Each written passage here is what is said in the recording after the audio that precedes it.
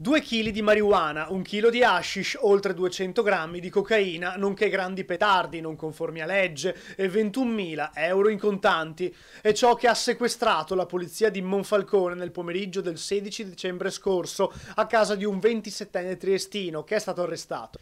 Durante specifici servizi di contrasto al traffico di stupefacenti, gli agenti della città dei cantieri hanno notato un insolito via vai di giovani noti alle forze dell'ordine per precedenti reati collegati al traffico di sostanze illecite in un appartamento del centro. All'arrivo della polizia, il 27enne pregiudicato che si trovava in casa si è rifiutato di aprire la porta per poi cercare di fuggire scappando dalla finestra. Tentativo andato a vuoto perché una volta forzata la porta d'ingresso, gli agenti sono riusciti a bloccarlo sul cornicione dal quale l'uomo stava per raggiungere il giardino condominiale. Riportato nell'appartamento, il 27enne si è scagliato contro i poliziotti sferrando calci e pugni, oltre che minacciandoli.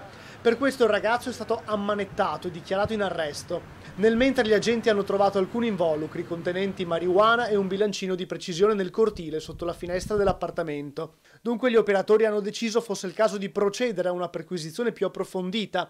Poco dopo è stato trovato un quantitativo di droga sorprendente, 3 kg di cannabinoidi tra hashish e marijuana, 230 grammi di cocaina, tutto nascosto nel frigorifero della cucina.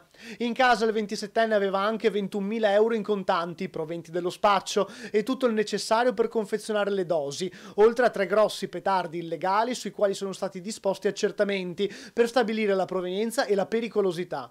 Il 27enne è stato portato al carcere di Gorizia dopo la convalida dell'arresto da parte del GIP. Questo sequestro di droga a Monfalcone è uno dei più ingenti che ci siano mai stati nella zona. La droga avrebbe garantito un guadagno sulla piazza di almeno 50.000 euro.